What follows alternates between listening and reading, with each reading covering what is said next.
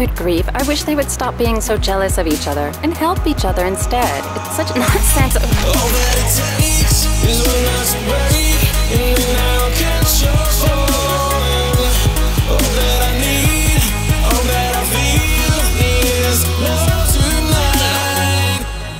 tonight. Uh, yes, I'm still here. I just bumped into some stranger. I dropped everything and he just picked it all up without a word. Speaking of helping.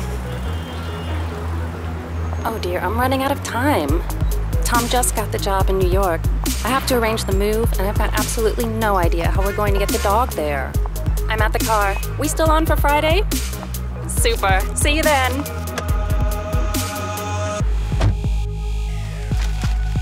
I'm so happy Tom's got the new job.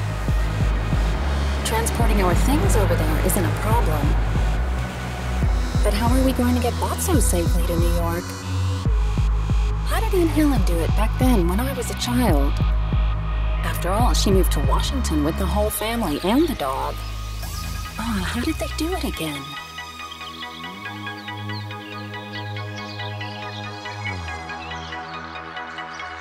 Darling, you have to say goodbye to Orphe now.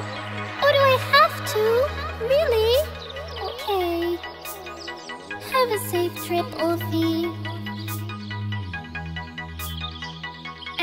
Helen, are you sure that Olfie will really, really get to America safely?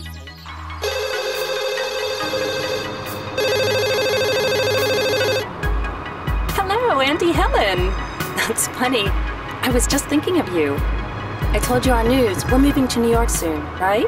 But I'm worried about the best way to get Botso there safely. Darling, that's why I'm calling. I still remember the name of the company that handled it.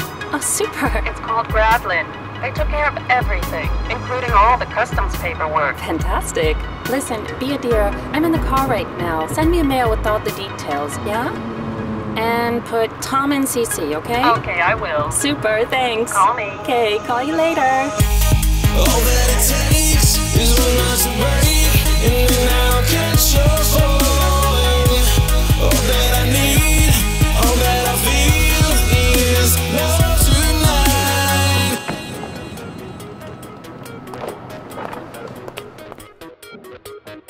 Hello.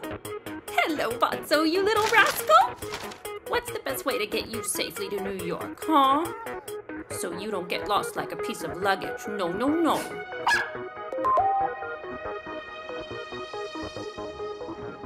Come here, Botso. Come here. Sit.